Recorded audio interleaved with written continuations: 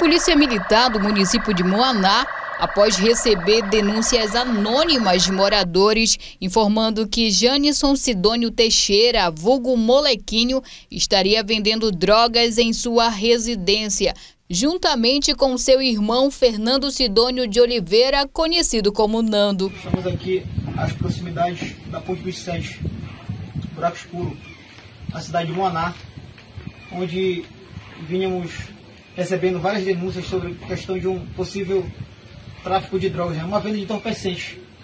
E após várias informações, chegamos aqui à casa do Nacional, como é teu nome? Jandes. Jandes, vulgo molequinho, né? É interessante ressaltar que ele já responde na justiça a questão de um roubo. Segundo a polícia, Molequinho estaria com alvará de soltura expedido pela comarca de São Sebastião da Boa Vista. No quarto de Janisson, a PM encontrou 18 papelotes de uma substância supostamente macônia, um aparelho celular, um relógio e uma quantia em dinheiro no valor de 78 reais, que seria das vendas dos entorpecentes. Foi encontrado na posse dele várias, várias cabeças dessa aqui de, de maconha, em torno de mais de 70 reais entre moedas e, e cédulas, papel. E o, o seu irmão, né?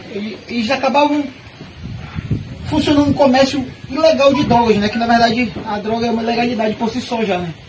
A dupla foi encaminhada à delegacia juntamente com o material apreendido para os procedimentos cabíveis.